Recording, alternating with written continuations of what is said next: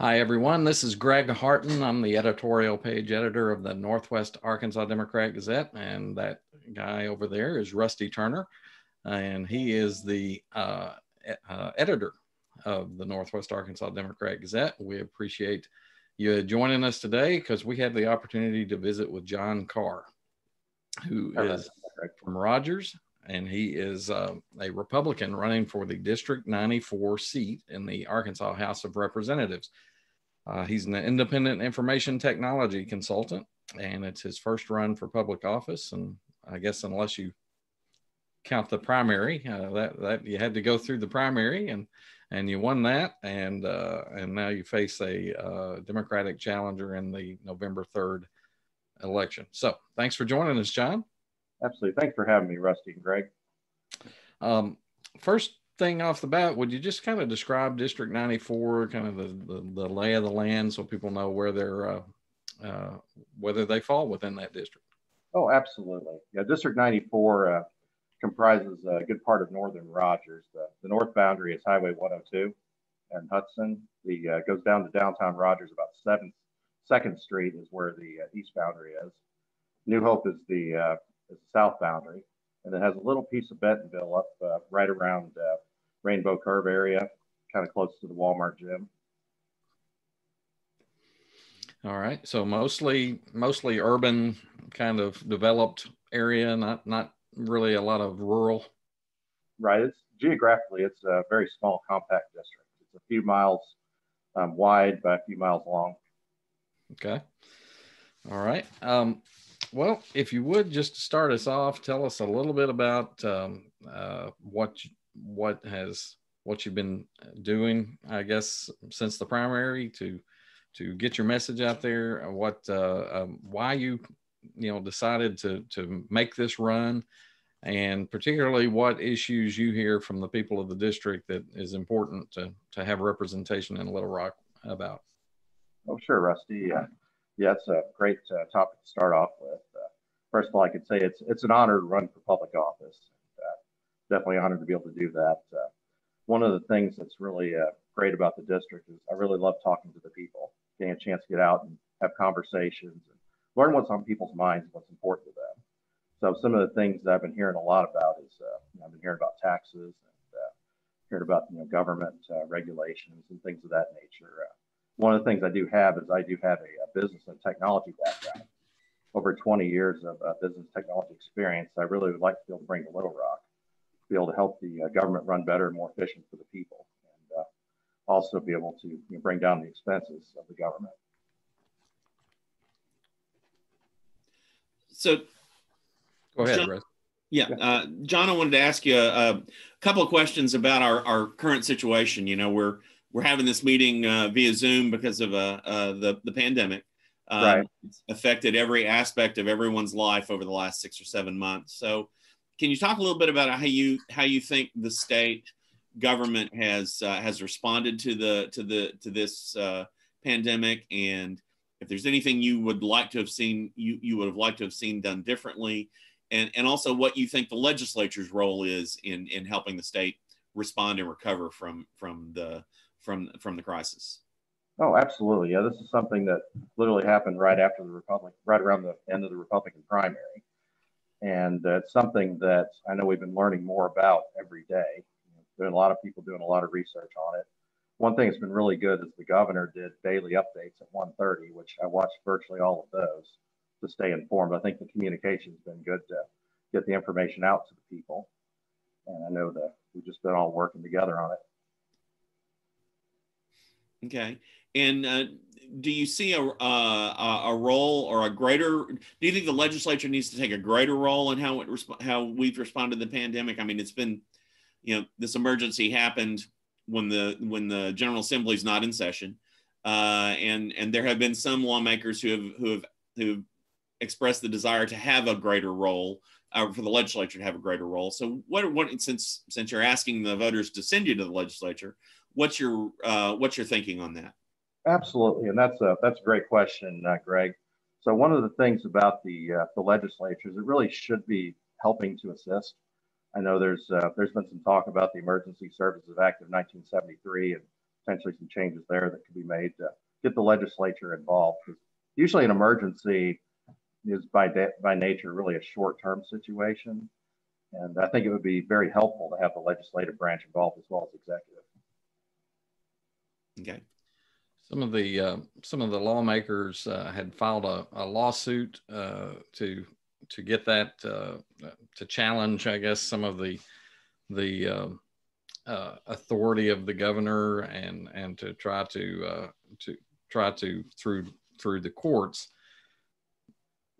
get more of those get those kind of thrown out so that the legislature could have more of a voice in it. Um, uh, i think a judge just yesterday had had thrown that case out but um, uh, you know they felt very strongly that the governor uh, uh, that it, the the case the situation had gone on too long and that the le- legislature ought to be directly more directly involved. Um, uh, what did you think about that that approach well, I'm sure that's a, a, topic that we'll take up in, you know, the legislature in January is what to do with the Emergency Services Act uh, in 1973. I mean, at this point, it's kind of a moot point because the legislature will be meeting in January. Okay. Um, and I think, I, I, I, don't know if you, if you answered this, forgive me, but the, uh, the job of, of Asa Hutchinson, I mean, how would you evaluate how he's how he's attacked this uh, uh, this whole pandemic and the and the state's response? Well, I think it's been very good how he's been communicating with the people, having the daily updates at 1:30 with him. We had Dr. Nate Smith for a while, and then uh, you know Dr. Nate Smith went on to the CDC in Atlanta, and so Dr. Jose Romero has kind of stepped up and continued to assist with the briefings. The one thing he's done very well with is giving information to people being forthright, showing the charts every day, showing the trends of the seven day rolling averages. He showed the, all the different information. I think he's been transparent with, with us about, uh, about the information. Okay. And in terms of, uh, you know, we've had a lot of candidates talk about the, you know, the timing of the masks and the, and the, uh, you know, business, you know, restrictions of those sorts of things. You, you feel like he's handled those uh, fairly decently? Yeah, I, I, know initially he was talking a lot about education and uh, educating people to use the mask. He personally set the example, and uh, I know that really people without a mandate were actually social distancing. And you know, when I saw when I was out in public, people were staying at six foot away. The, the mask, you know, if people feel comfortable wearing one, that's fine. Uh, I know there's been a lot of debate about about the mask, but I know private businesses they want to ask people to wear one politely. Most people truly do want to be part of the solution and truly do want to help. Okay. Um, during this whole pandemic, uh, alongside it, not necessarily related to it, but um, we've had this kind of upheaval in this country with protests and and you know just the the questions about racial tensions and law enforcement, those sorts of things. Um, what do you feel like the role of a state legislator is? Um, certainly, you know, just over in Bentonville, you know, there was the the protests there on the square, and and some here in Fayetteville, and um, and, and lots of voices, you know, calling out for some changes. Um, but but what do you feel like if if you're get if you get elected and you go to Little Rock, what what's the role of a legislator to try to deal with some of the, the issues that that we've seen brought up really across the country? Yeah, I think that's a great question. Uh, one of the things a legislator can do besides legislation is be a good example. Um, one things I try to do personally is I love talking to people. I love sitting down with them, getting to know them. It's amazing and fascinating what you can learn about somebody by just simply having lunch with them. Their backgrounds, their experiences. It's just the power of, of personal human interaction. It's just such an amazing thing the um, uh, a lot of the calls are for you know changes to the systems, uh, the the you know law enforcement and that sort of thing, um, which you know the legislature can have some some feedback in. Um, do you feel like that's part of actually doing anything legislatively as part of the response to that, or do you feel like it's just giving a giving people a chance to be heard? Well, it's very important for people to have the right to, to be heard. We have the First Amendment, which gives the right to peacefully assemble. A lot of it really is just human to human uh, communication. That's something that, you know, when, like I say, when you actually sit down with somebody, it's just amazing what uh, what people get to see and what they get to learn about each other, and just uh, just like wow, that person's amazing. You learn new things, you learn new experiences, and that's what we just have to do. It's just you know, basically uh, love each other and talk to each other. In in the age of of, of social distancing, that's a little bit difficult. How uh, uh, as a candidate and, and as potentially a lawmaker, um, you know, how do you have how do you create those opportunities to to have that interaction? Yeah, and that's one thing uh, that you have to do. Obviously, you, have, you can't have the large gatherings right now because of the, the need to social distance but you can certainly uh, certainly get out when you're at the grocery store, talk to people, see how they're doing, check on their day, wish them a good day. That's some things that you can do. You know, there's also opportunities like we're doing here on Zoom meetings. You have those. Um, there's lots of different ways in today's world in which we can do that. It's just uh, technology is a very powerful thing. Um, shifting shifting gears a little bit. In your introduction, you mentioned um, keeping an eye on government regulation right. restrictions on businesses and that sort of thing. Anything specific in mind along those lines uh, of, of regulations you'd like to see adjusted or or uh, or or made or changed to make to to, to make uh, businesses more efficient, make government more efficient? Right, and that's a that's an that's an excellent topic. And one thing I do as a I've got 20 years of uh, professional experience working on making uh, IT systems more efficient. That's my background. That's my experience. And I know that there's ways that, for instance, with computer systems, you can actually tune systems to make them more efficient, reduce disk space, you can reduce network usage. One thing also that people may know about is uh, with a mainframe, there's something called million instructions per second or MIP. There's ways you can uh, make computer programs run more efficient to where you, you use less MIPS. Because, for example, a lot of uh, computer systems, if you have unnecessary computer processing, you know, companies and businesses pay by that uh, pay by that unit. And so if you can get the amount of processing down, there's lots of opportunities there. Uh, that's something that definitely be an area where I could dig into.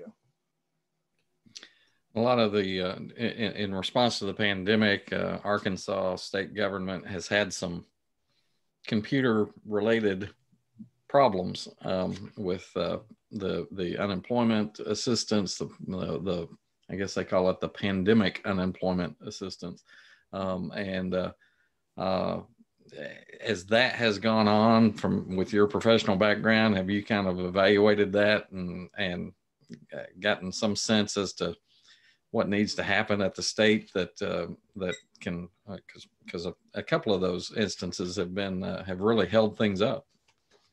Yeah, it kind of goes, goes back to what I was talking about previously. Uh, if you've got different computer systems that are uh, running different different software programs and they're on different platforms and you're having to bridge computer systems and bridge data from one system to another, you do increase what's called the points of failure. And so one of the things we'll have to look at is how to centralize some of the systems to make those type of things easier. Uh, tell me a little bit about uh, your thoughts uh, on the, the, three issues that are coming up on the uh, November 3rd ballot that the legislature, um, the, the last session, or I guess yeah, two, 2019, they put it on the bat, put these three issues on the ballot. Start off with issue number one, which is that uh, that sales tax uh, for the state highways and county and city roads. Uh, what's your perspective on that? Oh, sure. This is actually a question that also came up during the Republican primary. One thing I can say about it is since it's with the uh, the citizens, um, I literally have one vote of a million votes that are going to be cast on that issue on November 3rd. Um, I do have personally, I do have concerns about putting a permanent tax in the Constitution. I know that 10 years ago, when the voters voted on this, the intent was to to have a temporary tax to go make the repairs and do the things that were necessary to the roads, and it was uh, supposed to sunset. So well, does, there's, some, there's that... some criticism of the proposal because uh, you know there there's there are people who believe that that you know it was sold as a temporary tax and and now it's now they're being asked to make it permanent and there's some there's some resistance to uh, uh, to keeping the tax on a permanent basis after it was sold in that way. Did um, did you see it that way, or is is is this just a natural progression uh, mm. from where we were?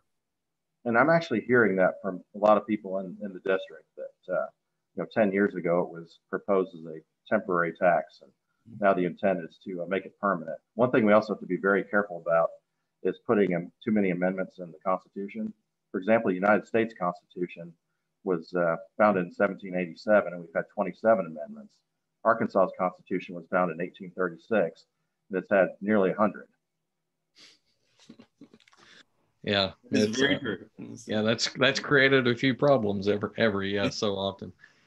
Um, so in in terms of uh, uh, you know if the voters decide you know not to approve this tax, um, one thing I've gotten from people who are who are for issue one or against issue one is everybody agrees about the need it seems like that that that we do need to do better on our roads and highways and and as far as maintaining them. And um and certainly the growth in northwest arkansas we've benefited from some new highways. So as a lawmaker how how would you like the state to pursue funding for state highways so one of the things uh, definitely want to look at is where are we spending money unnecessarily? One example I can kind of give up here locally. You guys may be familiar with the fact that we had the, the steel ropes that they put in where it's now Highway 49. And then several months later, they pulled them out to start widening the roads. So we need to look for things like that where we can be more efficient. And that way we can have more money to work with. Uh, that's definitely something that I would like to look at. So in terms of, of highways, you would I take that to mean that that that if two years from now they're proposing another tax to to support it, that that that you generally have a you, you don't think they need the additional revenue that, that you think it can be found within existing revenue? Oh, definitely. I do know that uh, I've heard that the books that they have for each state agency, in fact, they're going through the uh, the budget process right now. And I understand from what I've heard, those books are about 12 inches thick for each agency. So take time to review, but definitely I'm sure that we can find different ways to be more efficient.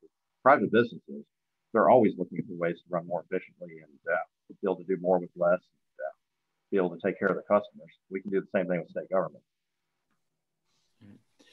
So have you formed an opinion on issue two? That would be that's the that's the issue that would change the the way we limit uh, legislators' terms. Uh, currently, uh, legislators can serve 16 years in either house. Uh, this new proposal, as I understand it, would would uh, require you to leave office after 12 years, but after a four-year break, you could come back. So, do you have have you formed an opinion on on that change and whether you think it's a good idea or not? Yeah, I've been I've been thinking a lot about uh, about issue number two. I know the the intent of it is, to try to you know just alter the term limits because currently right now we do have 16 years that you're allowed to serve.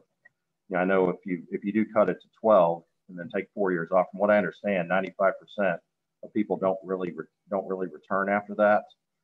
Um, I know that uh, here lately, even just in Northwest Arkansas, we've got a lot of legislators that decide, chose on their own not to run for for reelection as it is. So I don't know if it'll make a huge difference one way or the other in terms of the way the term limits exist today. Okay. And uh, issue three is about changing the way that citizen led initiatives uh, are, are qualify for ballot for, for vote. Um, two sides to every uh, two sides to every story. Critics of this initiative say that it's going to make it much much more difficult for a citizen led initiative to get on the ballot. Is therefore not very democratic. Uh, supporters say that the uh, current process uh, makes it so that that that um, uh, collection signature collection can be done only in metro areas and kind of and, and they can kind of ignore the rural areas of the state and also uh, there's a fear that special interests from out of state can manipulate that system so uh, what's your thought do, do you have a position one way or the other on on issue three so that's uh yeah you pretty much talked about a lot of the concerns on both sides of the issue kind of going back to what i was talking about before the United States Constitution has 27 amendments. Arkansas's Constitution has 100. And your Constitution really should be a framework for government, not just to put a lot of different little things in there here and there. A lot of stuff should be handled through uh, legislation. I know that definitely the concern is, is that outside groups will come in, hire a bunch of paid canvassers, go out, collect signatures, and put something on the ballot. Okay. I, I think I'm sitting here thinking that uh, it, it, it shows that the people who wrote the uh, Arkansas Constitution probably weren't up to snuff with the people who wrote the the national Constitution. Um, uh, uh, I, I, think that's probably indisputable, mm-hmm. given like you're talking about that it's been amended a hundred times since it since it was drafted. Um, uh, one of the issues that's been going on for years now uh, that is, uh, even though it's not within you know Benton County where your district is, or or uh, uh, it's it's a little bit of a drive from here on the on the northwest corner, but um, uh, the Buffalo National River, uh, you know that's been going on and uh, for years with the the uh, hog farm that that right.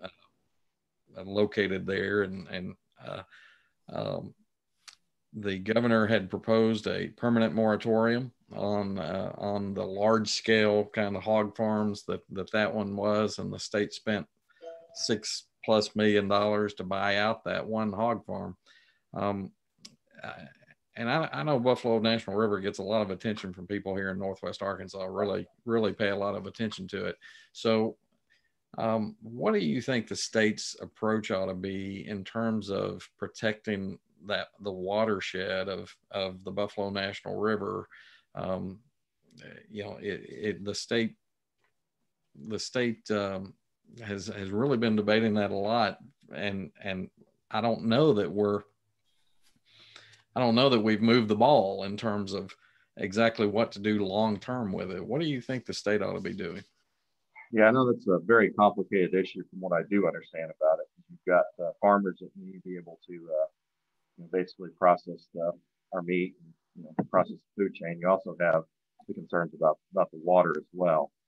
I know that one of the things that a lot of people don't realize, even about Benton County, is we actually are a very rural county still. I think we're number one in beef production. So definitely something we need to look at in detail and uh, definitely dig in some more. Okay. Do, do you do you have any thoughts about the idea that, that Asa Hutchinson has supported of, of putting some kind of moratorium on, on those types of facilities around the Buffalo National River? That's something I need to do a, a lot more digging into and more investigating about. One of the things I really admire is a man named Henry, Henry Ford. I know he was somebody that uh, didn't necessarily wasn't an expert on every topic, but he knew who to talk to. So that's something I definitely want to dig in a lot more, just like Henry Ford did. Okay. So who who who do you think you would like to talk to? Not not by name, but just yeah, yeah. The the interests that that would be uh, going on there. Yeah, definitely the Farm Bureau would be somebody I could talk to about that. Uh, get some more information. Okay. Um, going back a little bit on the question of, of kind of the race relations and all of that, and you, you talked about how valuable it is to talk to people. Right. One of the things that's tough uh, for legislators is, um, I think, making sure that they're talking to people beyond just their usual circle.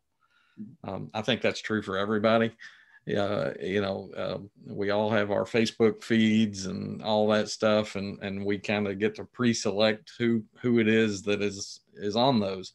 Um, so how do you make sure whether it's an issue like race relations or the Buffalo River, how do you make sure that you're hearing from people that that wouldn't necessarily always be kind of in your orbit?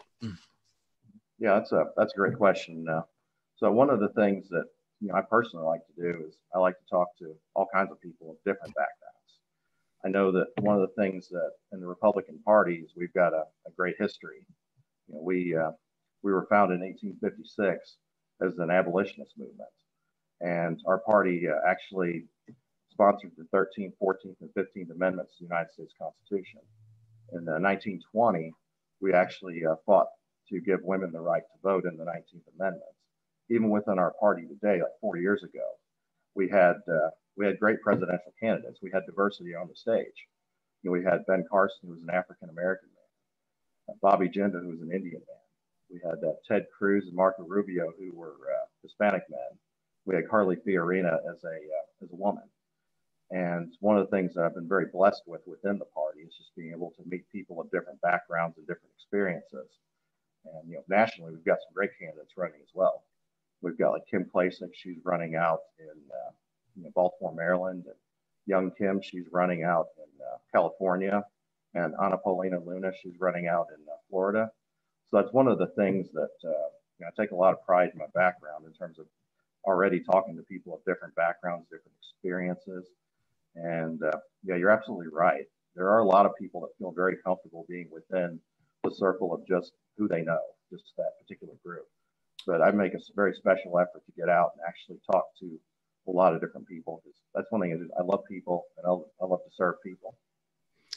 How about a lot uh, of the John? How about how about interacting with people of different uh, with Democrats or Libertarians?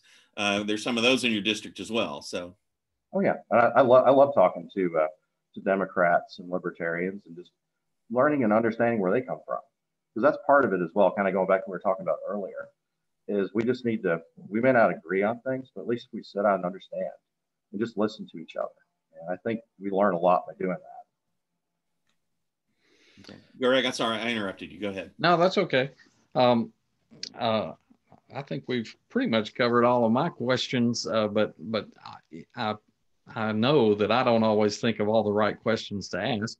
So uh, give me a sense of you know of any questions or issues that that you think the voters of your district particularly might want to hear from you about um, that that I haven't asked about or that Rusty hasn't asked about, just to to um, uh, help help give us a sense of what's going to be important for you, and maybe you could also tell us a little bit about if you're elected, what what uh, committees you would like to serve on down there, if you've given that any thought. Oh, absolutely. Yeah, that's that's excellent uh, to talk about. So one of the things that's most important to me is my constituents. Um, like I say, I spent a lot of time dedicating myself to talking to people, understanding what's important to them, and building those relationships in the community. You know, I've talked to between the Republican primary and the general election, and just simply being out in the community, I've talked to many, many people. And like I said earlier, a lot of people are uh, concerned about the regressive taxes in our district, the fact that it's, it's hurting people. Uh, people have been telling me about the used car tax as I've been talking to the community. And so it's some things that we just need to look at to be able to help our community to be able to thrive. Uh, so in terms of committees, uh, one of the committees that would be a, great fit would be the technology committee. So to be able to use the uh, my business and technology background to serve the people of Arkansas. You know, let's build a let's build a great Arkansas. Let's uh, let's make let's make it run like a business. And, you know, our taxpayers are like a customer. A business needs to take care of the customer. So that's something I'm very passionate about is making sure that we take care of the constituency and their needs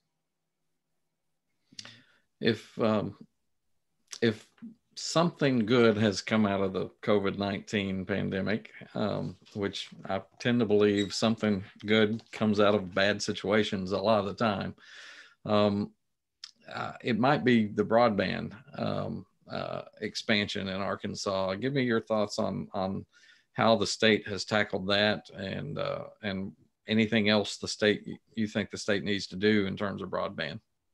So yeah, definitely one of the things I'm glad to see in the CARES Act was there was uh, money allocated to that. Yeah, I've been watching the steering committee yeah, in terms of how they've been tackling that issue, trying to get the get the receivers out there and looking and see what we need to do for that issue because that's definitely something for the future that uh, we definitely will need more broadband uh, out in our communities. All right. Well, Rusty, uh, do you have anything else you want to touch on? No, uh, I, John, I appreciate you spending some time with us this morning. Thank you.